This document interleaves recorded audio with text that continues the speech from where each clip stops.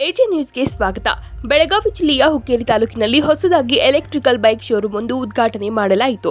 ಪ್ರತಿದಿನ ನಿತ್ಯ ಪೆಟ್ರೋಲ್ ಬೆಲೆ ಏರಿಕೆಯಿಂದಾಗಿ ಬೇಸತ್ತ ಜನರು ಎಲೆಕ್ಟ್ರಿಕಲ್ ಬೈಕ್ ಹೊಸದಾಗಿ ಮಾರುಕಟ್ಟೆಗೆ ಆಡಮ್ಸ್ ಎಲೆಕ್ಟ್ರಿಕಲ್ ಬೈಕ್ ಶೋರೂಮ್ ಉದ್ಘಾಟನೆ ಮಾಡಿದ ಸನ್ಮಾನ್ಯ ಶ್ರೀ ಡಿಸಿಸಿ ಬ್ಯಾಂಕಿನ ಅಧ್ಯಕ್ಷರಾದಂತಹ ರಮೇಶ್ ಕತ್ತಿಯವರು ಉದ್ಘಾಟನೆ ಮಾಡಿದರು.